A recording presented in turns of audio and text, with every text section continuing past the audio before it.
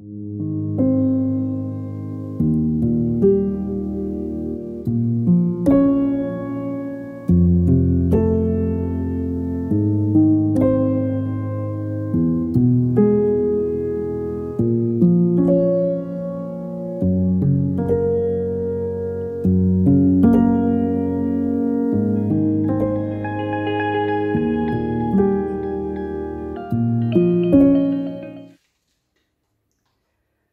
Saudara-saudaraku yang dikasihi Tuhan, selamat bertemu kembali dalam sapaan rohani hari ini.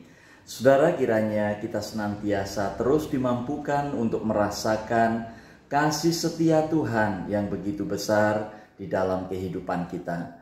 Sebelum kita mendengar sapa firman hari ini, mari kita menyatu hati di dalam doa. Tuhan yang maha baik, kasih setiamu begitu nyata dalam kehidupan kami Cinta kasihmu terus engkau nyatakan memelihara kehidupan kami, memberkati kami. Kami boleh berada dalam kondisi saat ini oleh karena semua kebaikanmu. Kami akan mendengar sapa firmanmu Tuhan.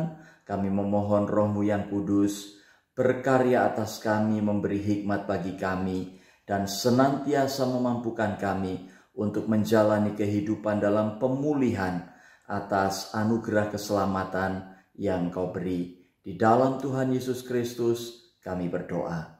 Amin. Saudara-saudaraku, bagian Alkitab yang menjadi dasar sapa firman hari ini terambil dari Mazmur 80 ayat 2 hingga ayat 20.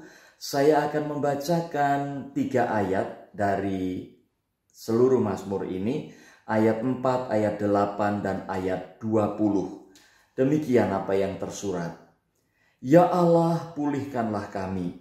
Buatlah wajahmu bersinar, maka kami akan selamat. Ya Allah semesta alam, pulihkanlah kami. Buatlah wajahmu bersinar, maka kami akan selamat. Ya Tuhan, Allah semesta alam, pulihkanlah kami. Buatlah wajahmu bersinar, maka kami akan selamat.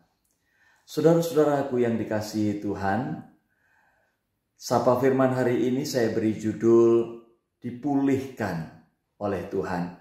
Saudara-saudara siapa pun di antara kita, apalagi saat kita sakit, tentu mendambakan pemulihan sehingga kita kembali menjadi sehat.